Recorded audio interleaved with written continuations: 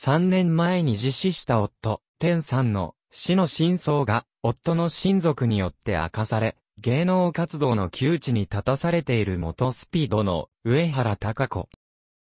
彼女と俳優の安倍力との不定が夫の死に影響を与えていたことが明らかとなり、世間の風当たりが強まる中、早々に新恋人と同棲を開始したことも、現在の彼女への批判の要因となっている。そんな上原に関して、新たに報じられているのが、金欠問題。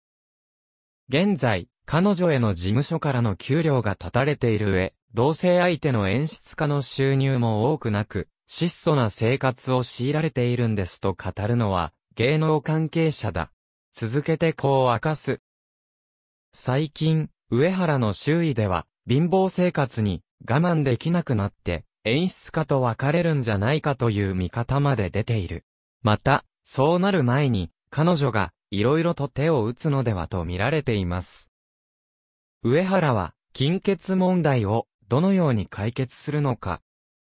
騒動後、ストップしていた公式ブログを再開するのではという予想もなされています。好感度は地に落ちましたが、彼女に対する世間の関心は、スピード時代以上に上がっている。